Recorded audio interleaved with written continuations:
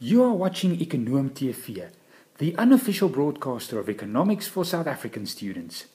In this episode, Chapter 4 about measuring the performance of the economy.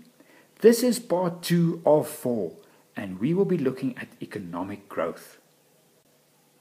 Economic growth is quite important since it means that there are more goods and services available for people to consume. Growth is calculated by comparing GDP in one year with the next and determining whether there are more goods and services available for everyone.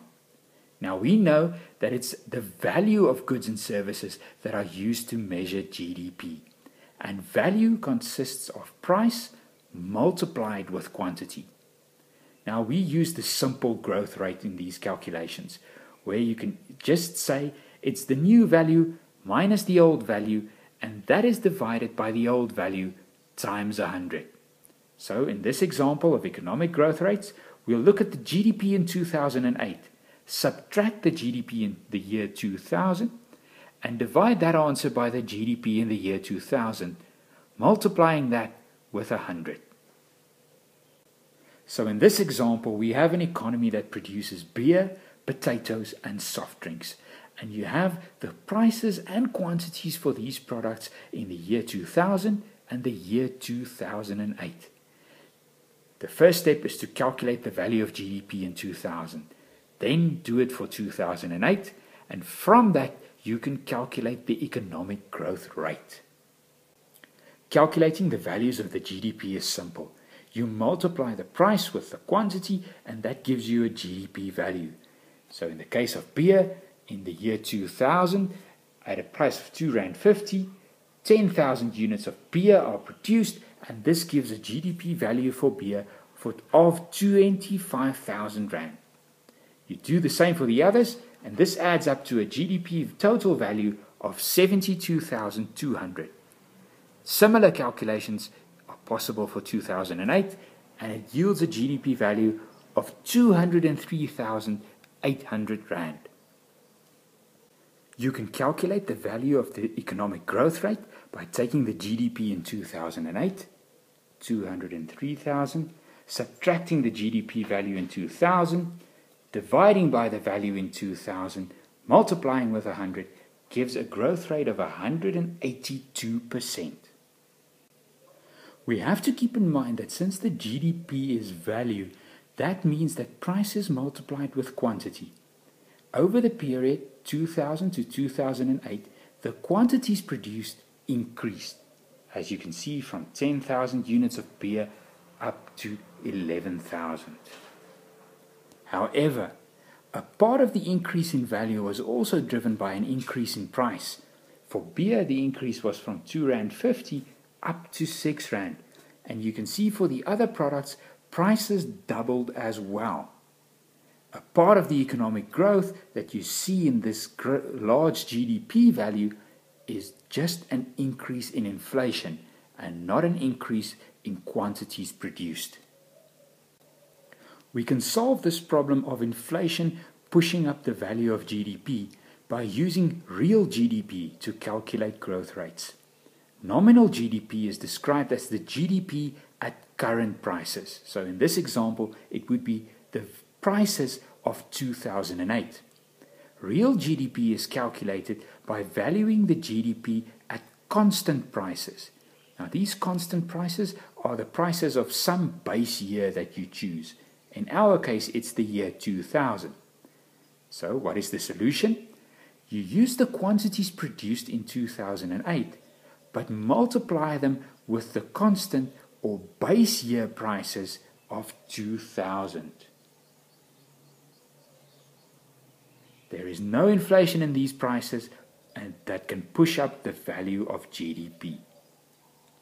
So, we take the quantities produced in 2008 11,000 units of beer, 5,000 bags of potato, 9,000 units of soft drinks, and to calculate the value of the real GDP, multiply those with the prices that you get from the base year, 2000. These prices are then used to get a GDP value of 85,100. This is used in the calculation of the growth rate, And the result is that over this period, the value of the increase in the quantities produced is only 17%. This is much more realistic to say that the economy grew by 17% over the period than 182%. There are also other ways to measure economic activity. One is to consider the gross national income.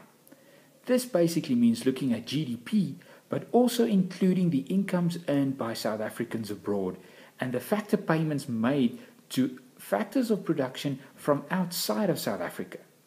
The gross national income is the GDP minus the factor payments made abroad, plus the factor payments received by South Africans. With GDP measures economic activity, GNI measures living standards.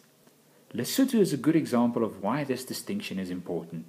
The gross domestic product of the economy of Lesotho is quite small, but a lot of people from Lesotho work in the South African economy, and we make factor payments to them. That should be added to the value of GDP in Lesotho to get an idea of their gross national income. In their case, gross national income is much larger than just the GDP. Another possible distinction is to look at the difference between spending on GDP and the gross domestic expenditure. Spending on GDP is the spending on the goods and services produced within the country. This would be consumption spending, investment spending, government spending, and spending on exports, minus the spending on imports, because imports were not produced within the country. Exports are sold outside of the country, but the spending on them should still be added as part of spending on GDP. The alternative is to look at gross domestic expenditure or GDE. Apologies for the initial error on this slide. Gross domestic expenditure is the spending that occurs within the borders of the country. You'll see in this case there is no mention of the exports because spending on exports occur outside the borders of the country. But for each of these, the consumption spending, investment spending, government spending, they'll all have an element of imported goods included within that spending. So GDE consists of C plus I plus G. Did we achieve the outcomes of this section? Can you distinguish between nominal and real GDP and calculate the economic growth rates? You can also have a look at Chapter 4 in Mohr and at the additional resources available on Efundi. Answer the quiz questions and finally follow at Ekonoom on Twitter.